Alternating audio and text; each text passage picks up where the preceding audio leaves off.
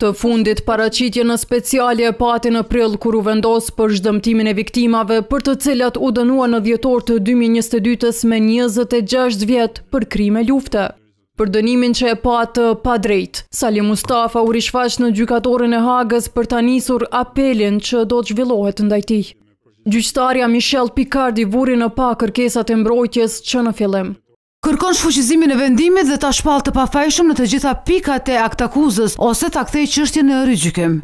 Ndërkaq mbrojtja detajoi më tepër kërkesën, e nisi me ndërtesën në Zllash, ku shkalla e parë vendosi se janë kryer torturat midis një e nëntëmbëdhjetë prillit një mijë e nëntëqind e nëntëdhjetë e nëntë, e përfundimi u nxor nga dëshmitë e personave që as nuk e mbanin në mend mirë vendin që i referoheshin si kompleks. Të gjithë dëshmitarët nuk kishin një pamje të qartë dhe nuk mundnin në mënyrë të arsyeshme ta identifikonin ndërtesën. Paneli nuk mund të devijojë nga aktakuza. Fakti që ZPS në deklaratën hapëse ka identifikuar një vend të vetëm, përbën gabim gjyqësor. Salih Mustafa ishte dënuar edhe për vrasje, edhe për arsyen se viktima e gjetur nuk kishte marrë trajtim mjekësor dhe ishte në zonën e komanduar nga Cali. Ndonëse kufoma ishte në dispozicion, nuk është bërë zhvarrim e as autopsi. As ZPS nuk ka kërkuar zhvarrosjen dhe autopsinë dhe mund ta bëjnë këtë përmes mjeteve të ndryshme. Edhe Kodi Penal i Kosovës e lejon këtë. Trupi gjykues nuk e përcaktoi as vendin e vdekjes dhe nuk ka prova se viktima u vra në kompleks, ndërkohë që aktakuza thotë se viktima u vra në kompleksin në Zllash.